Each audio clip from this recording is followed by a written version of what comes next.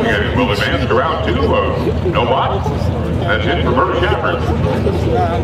Now, keep in mind, racers, a reminder once again, you will be able to take advantage of the buyback option if you are eliminated in round number one. All you need to do is see Matt at the head of the staging lane,